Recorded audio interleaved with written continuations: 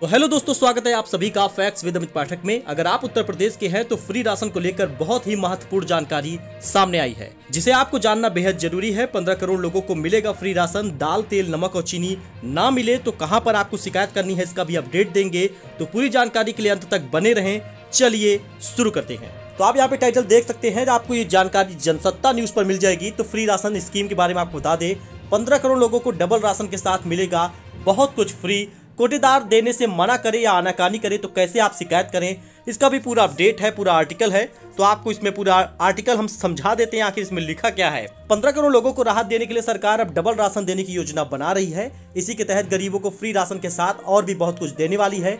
यह राशन लोगों को इस महीने से मिलेगा। कोरोना महामारी के दौरान से लोगों को राशन बांटा जा रहा आपको पता होगा, लेकिन अब उत्तर प्रदेश सरकार मार्च तक फ्री राशन देगी और केंद्र सरकार भी आपको मार्च तक फ्री राशन देने वाली है। तो आपको बता दें फ्री राशन में अब कई और चीज़ें मिलने वाली हैं, चाहे वो सरसों का तेल हो, यानी खाद्य तेल या रिफाइंड आयोडाइज नमक मिलेगा, दाल मिलेगी, चीनी मिलेगा। तो डबल राशन के साथ ये चीज़ें मिलेंगी, आपको इसको ध्यान से समझ लेना है। उत्तर प्रदेश सरकार ने मार्च तक राशन बांटने का ऐलान किया है तो केंद्र सरकार ने भी फ्री राशन देना मार्च तक बढ़ा दिया है। यानी मार्च तक गरीबों को अब डबल राशन मिलेगा। 35 किलो गेहूँ या चावल मिलने वाला है। आपको बता दें, केंद्र सरकार की तरफ़ से 35 किलो मिलेगा और साथ ही आपके राशन में जितने भी यूनिट जुड़े हैं, उनको भी 5 किलो राशन मिलने वाला है। तो कुल मिला के साठ से सत्तर किलो राशन आपको एक महीने में मिलने वाला है। इसमें आपको बता दें, एक किलो दाल भी मिलेगी, चीनी भी मिलेगा, चना भी मिलेगा, एक लीटर खाद्य तेल भी मिलेगा। तो आपको बता दें, चीनी और नमक हर परिवार को उपलब्ध कराया जाएगा। आप यहाँ पे देख सकते हैं, प्रदेश के लोगों को फ्री राशन योजना का लाभ देने के लिए सरकार ने 1200 करोड़ रुपए का खर्च हर महीने वहन करने वाली है। यानी सरकार की तरफ़ से 1200 करोड़ रुपए का कुल खर्च आएगा, जो कि आपको फ्री होगा। तो किसे मिलेगा फ्री राशन, इसके बारे में आपको बताएँगे। बहुत सारे लोगों ने कमेंट पूछा है कि, सर, क्या हमारे यहाँ भी फ्री राशन मिलेगा? तो दोस्तों, ये सिर्फ़ उत्तर प्रदेश की योजना के लिए है। यानी योगी सरकार भी फ्री राशन दे रहे हैं केंद्र सरकार की तरफ़ से फ्री राशन मिल रहा है, इसलिए यहाँ पे दो बार है। बाकी अन्य राज्यों में सिर्फ़ एक बार केंद्र सरकार की तरफ़ से है। उत्तर प्रदेश के उन निवासियों को डबल राशन दिया जाएगा, जिनके पास राशन कार्ड होगा। जिनके पास राशन कार्ड नहीं है, उन्हें सिर्फ़ एक बार फ्री राशन मिलने वाला है केंद्र सरकार की तरफ़ से। इस योजना के तहत प्रत्येक राशन कार्ड होल्डर को पाँच किलो राशन के साथ दाल, तेल, नमक, चीनी दिया जाएगा। अगर परिवार में चार सदस्य हैं, यानी चार यूनिट है तो बीस किलो राशन मिलेगा, दाल और तेल मिलेगा।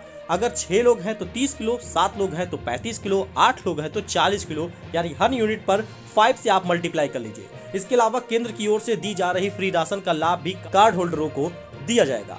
तो फ्री राशन में आपको बता दें, पाँच तारीख से शुरुआत हो गई है केंद्र सरकार की तरफ़ से कि पंद्रह तारीख तक आपको दिया जाएगा। तो आप जाकर राशन की दुकान पर, यानी कोटेदार से फ्री राशन ले सकते हैं। लेकिन अगर फ्री राशन मिलने में कोई भी दिक्कत आती है, कोटेदार राशन देने में कुछ आना कानी करता है तो क्या करे आप इसको देख लीजिए।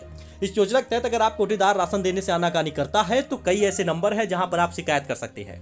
उत्तर प्रदेश राशन कार्ड शिकायत नंबर आप यहाँ पे देख सकते हैं, one eight double zero, one eight double zero, one five zero या फिर वन नाइन सिक्स सेवन पे आप कॉल करके शिकायत दर्ज कर सकते हैं। साथ ही आप ये जो आप यहाँ पे लिंक देख रहे हैं, इसको मैं डिस्क्रिप्शन में दे दूँगा। इस लिंक पर जब आप शिकायत करेंगे, इसके अलावा आप पीएमओ के ऑफिशियल वेबसाइट या फिर सीएम पोर्टल के तहत ऑनलाइन शिकायत दर्ज कर सकते हैं, जिसके बाद तुरंत कार्रवाई की जाती है। तो फ्री राशन पाँच से पंद्रह तारीख को मिलेगा। उसके बाद योगी सरकार की तरफ़ से बीस तारीख से तीस तारीख तक फ्री राशन मिलेगा। महीने में दो बार फ्री राशन मिलने वाला है। आपको कोई कंफ्यूजन हो तो कमेंट करके पूछ सकते हैं।